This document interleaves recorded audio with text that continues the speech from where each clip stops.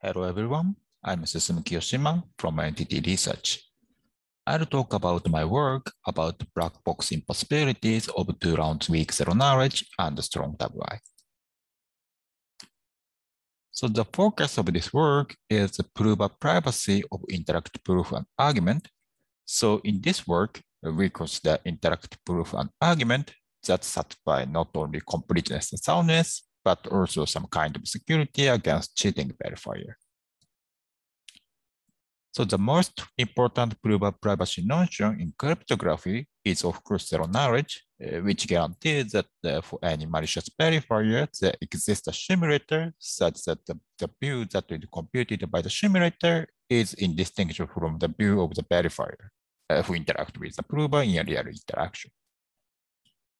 So a good point about zero knowledge is that uh, it guarantees really strong security and because of this powerful security, zero knowledge has been used in a huge number of applications in cryptography.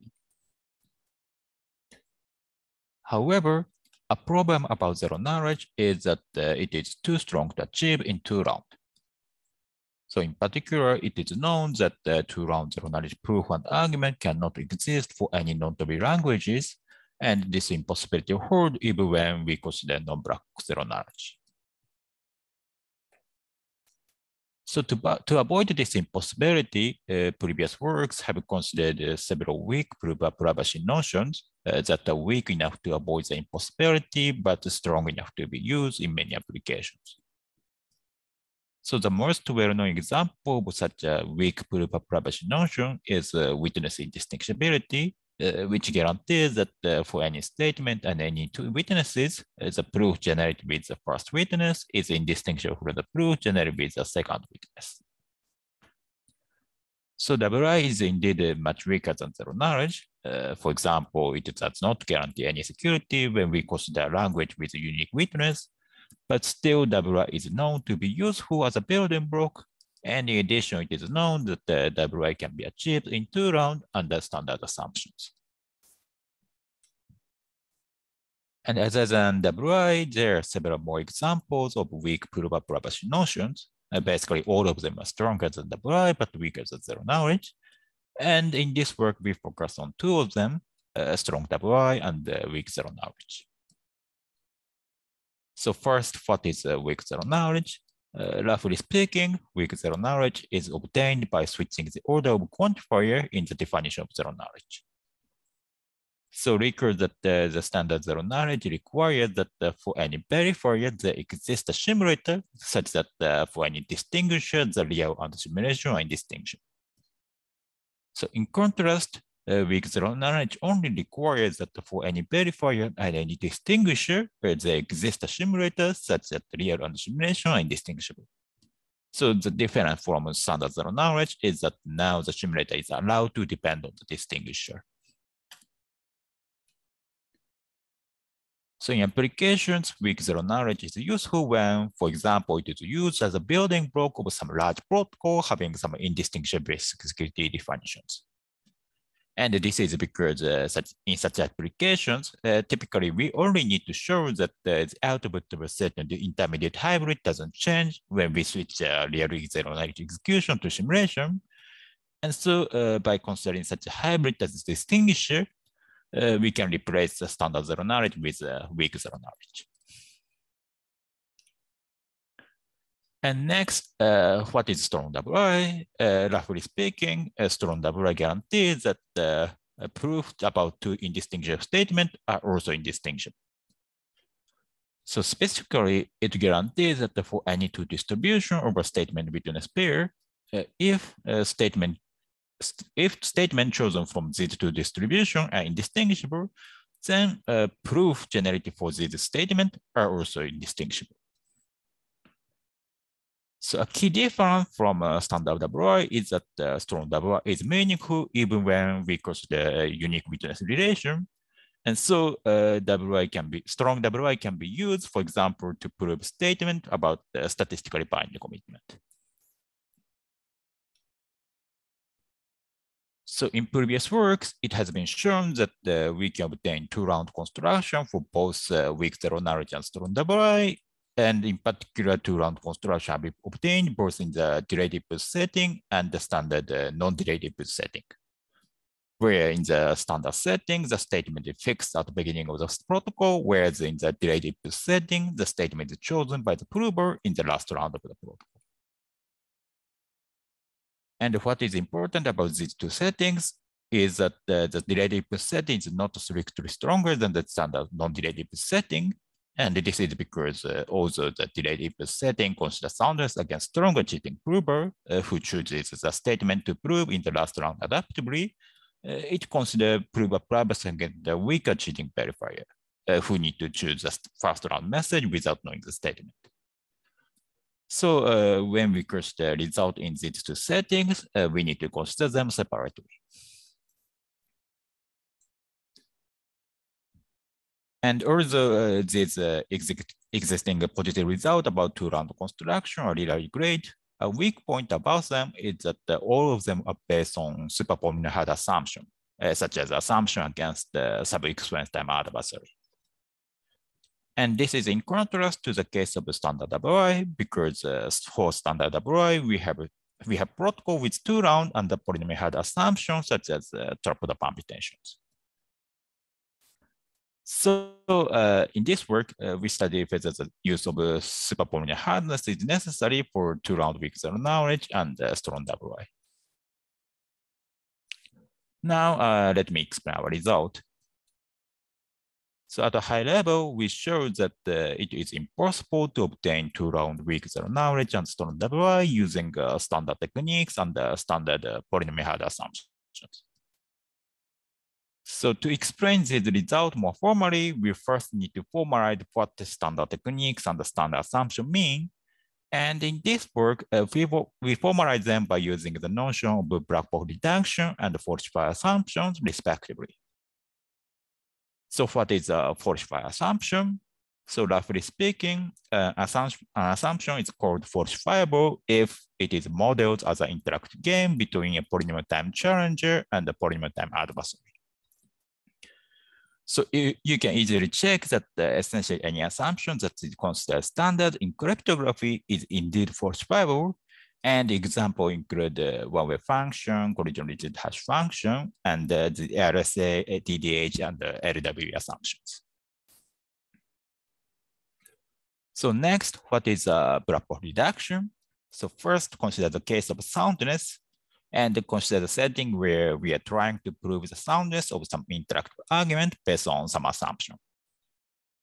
Then a box reduction for soundness is a polynomial time oracle machine such that uh, for any cheating prover that breaks the soundness of the protocol, uh, the reduction can break the underlying assumption by using the cheating prover as an oracle. So essentially the reduction is black box in the sense that uh, it uses the cheating prover as a black. And of course, black box reduction can be defined for other security notion as well. And in particular, black box reduction for strong WI can be defined similarly. And I know that the black box reduction are used very widely in cryptography.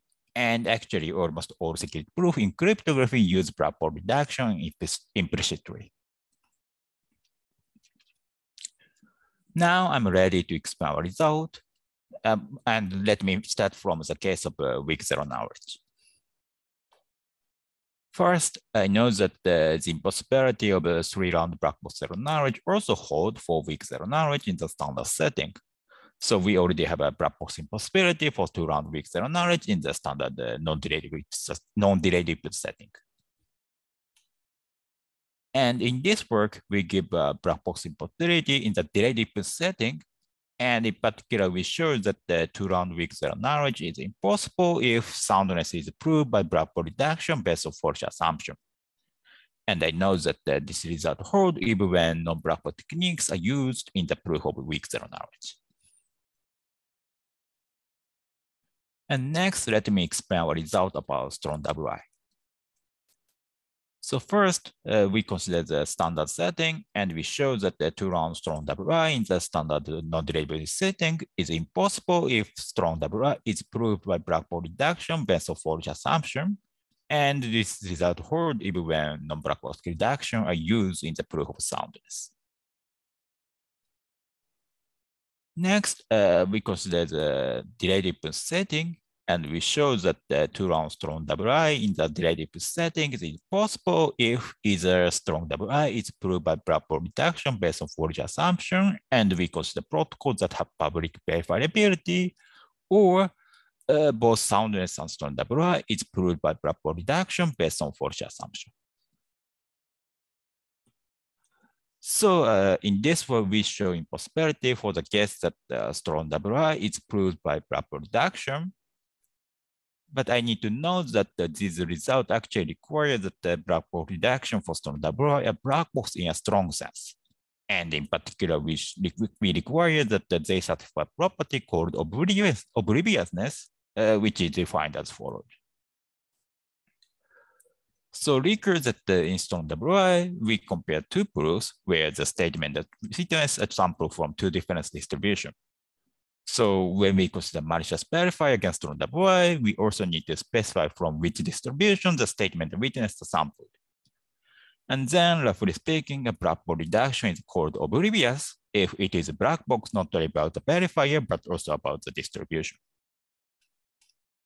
So in particular, we require for any two distribution about statement witness and for any verifier against strong WI, if the verifier uh, breaks the strong WI uh, with respect to these, these two distribution, then uh, the reduction breaks the underlying assumption or uh, it distinguishes the distribution about the statement. So uh, the only additional restrictions that we impose here is that the single reduction work for all distribution. And this restriction is actually pretty natural. And in particular, all the reduction that we know for strong WI uh, satisfy this restriction because uh, we currently don't know any techniques that use non-black access to the distribution in non-trivial way.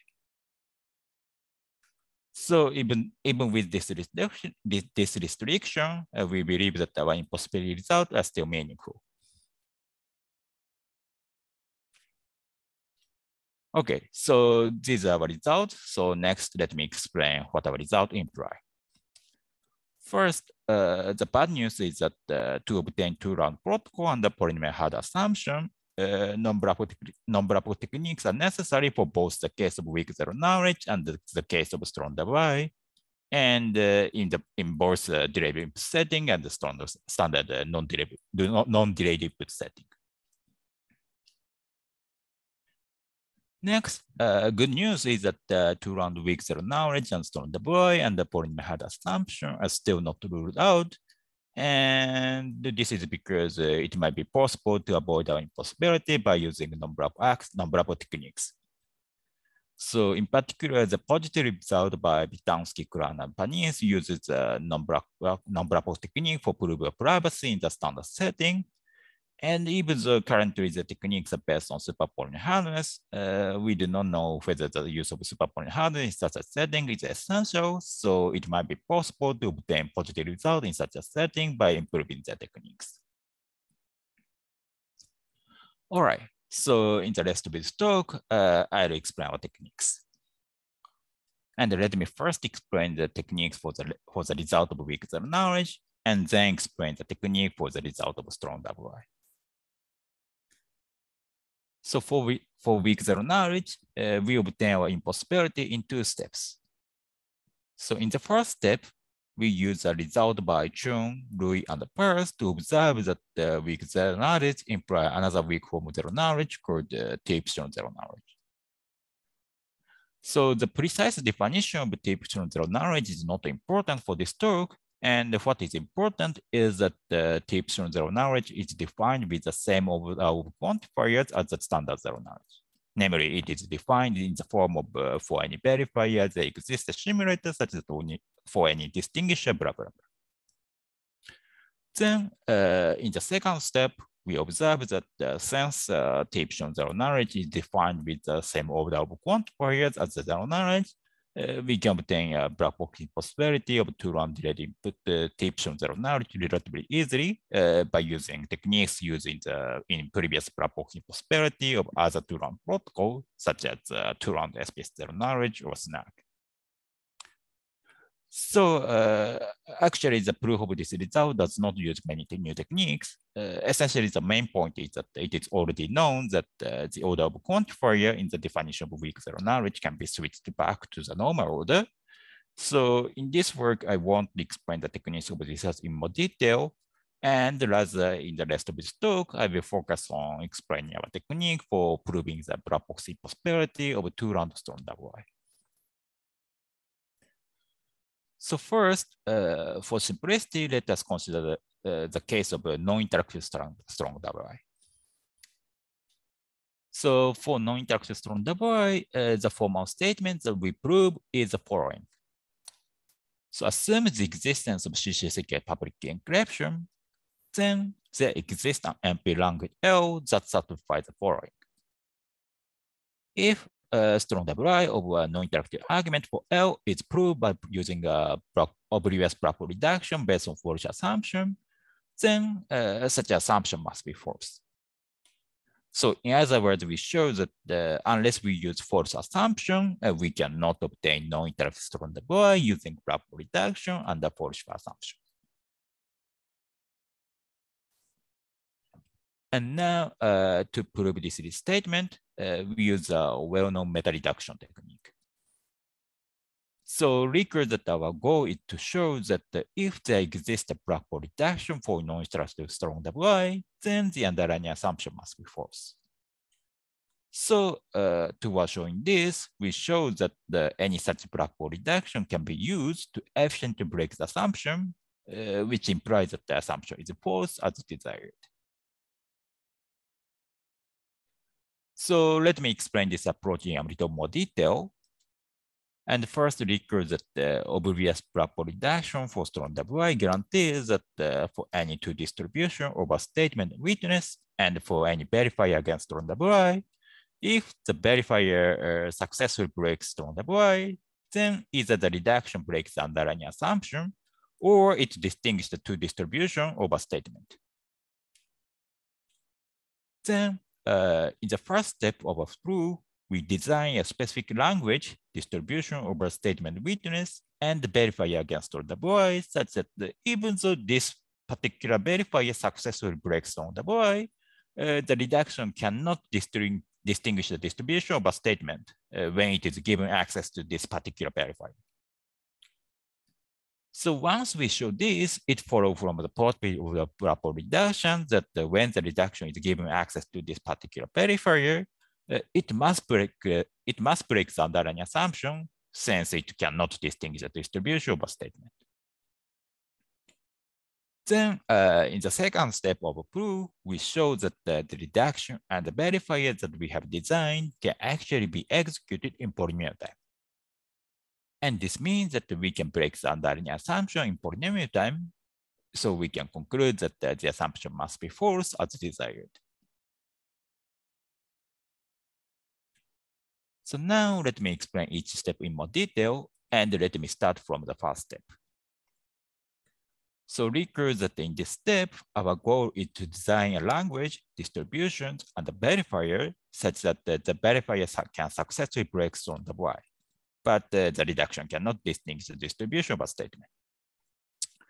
So uh, we consider the setting where the reduction is given a success uh, statement from the challenger, and it tried to guess uh, from which distribution the statement is sampled, and the, the reduction is given access to access to a verifier uh, as an oracle. And first, as a warm-up, uh, let us consider a simple case where after receiving a statement from the challenger, uh, the reduction simply forward the, forward the statement to the verifier along with some proof that it created by itself. Now, uh, the first observation is that uh, without loss of generality, we can assume that the reduction, the verifier abort if the reduction send a proof that it's not accepting. And this is because a cheating verifier against the bar is supposed to interact with the honest prover, uh, which always give access proof. So a verifier against um, the verifier can break storm the bar even when it abort whenever receiving the proof that it's not accepting. So uh, this observation implies that uh, for the reduction, the access to the verifier is useless unless it sends an accented proof to the verifier. Now, uh, the, key, the key point is that if the reduction can indeed generate accent proof for the statement is that it is saved from challenger, then it can be used to break the soundness. And this is because if we consider language such that the true and false statement are indistinguishable, then it follows that uh, even when we give a false statement to the reduction, uh, the reduction still sends accepted proof to the verifier, and this clearly contradicts soundness. So uh, in, the, in the simple case where the reduction simply follows a statement from the challenger to the verifier, uh, we can show that uh, the access to the verifier is useless. However, uh, the reduction does not necessarily always simply forward the statement to the verifier, and in general, it can send any, any statement to the verifier. And uh, this statement might be uh, somehow correlated with the statement that the, the reduction receives from the challenge. And to handle this case, we design language and distribution that have some kind of non-variability uh, by using a CCSK encryption. So specifically, uh, we consider language L that's, that consists of a public, public key ciphertext pair over CCSK PKE such that either zero or one is encrypted in the ciphertext. And also for each public key PK and the binary value B, uh, we consider distribution XPKB uh, that output the random encryption B and the public key PK.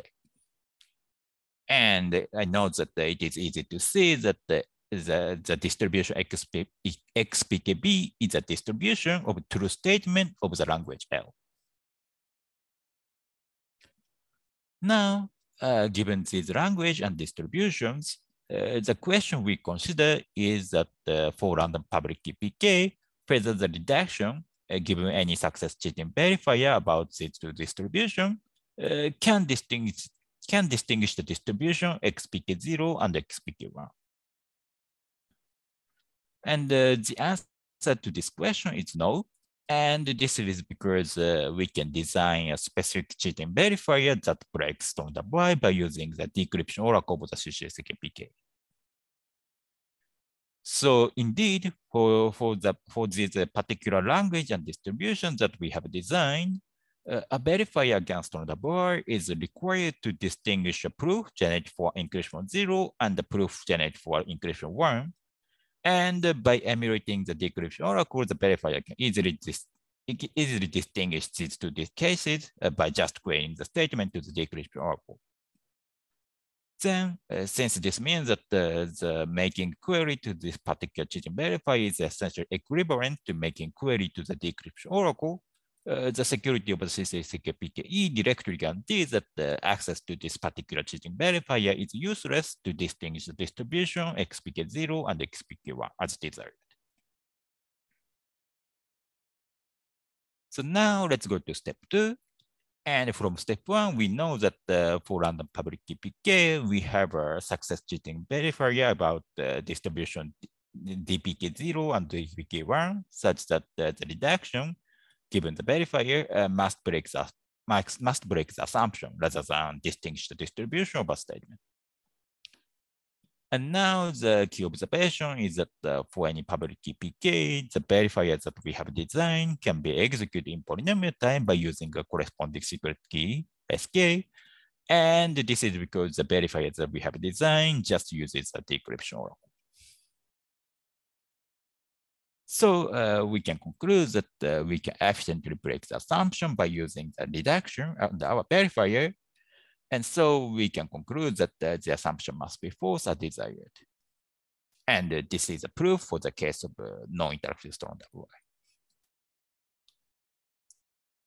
Now, from now, from now on, uh, I'll briefly explain how we can extend our technique from non-interactive strong WI to two-round strong WI. And uh, let me first explain the case of a standard uh, bit setting. So it turned out that uh, the only problem we have in this setting is that uh, in the case of two rounds from the void, the reduction might rewind the verifier. And in particular, the reduction might request the verifier to use the randomness for, for different statement. So fortunately, in the standard uh, non-relative setting, uh, this problem can be solved very easily. And the key point is that uh, in this setting, the statement is declared before the first verifier message. And so if, because the verifiers are computed randomness by prime PRF on the statement, uh, we can effectively prevent the use of randomness for different statements. So with this uh, modification, we can prove the impossibility of two-round strong WI in the standard setting, just like uh, non-interactive strong WI. And next, uh, let us let me uh, let let's consider the two-round strong WI in the delayed setting. So the problem is the same as before. Namely, the problem is that the reduction might request the verifier to use randomness for different statements. And since in the delayed, in the delayed setting, the statement is chosen after the verifier message, uh, we cannot solve this problem by using PRF anymore. And in this setting, uh, we use a slightly different approach from the case of non-interactive non-interactive WI, strong non-interactive strong WI. And in particular, we show that the strong WI imply a weak form of weak zero knowledge. And then we reuse our impossibility of weak zero knowledge. So the detail of this approach is a bit involved, so I won't explain the detail in this talk. So if you are interested, uh, the detail can be found in the paper. Finally, let me give a conclusion. So in this work, we give a black black box impossibility about obtaining two-round weak zero knowledge and strong WI from a polynomial hard assumption. So our takeaway message is that in order to obtain two-round weak zero knowledge and strong WI from polynomial hardness, uh, you have to use non-block techniques, at least uh, either for soundness or prove a privacy. So this concludes my talk. Uh, thanks for, thank you for listening.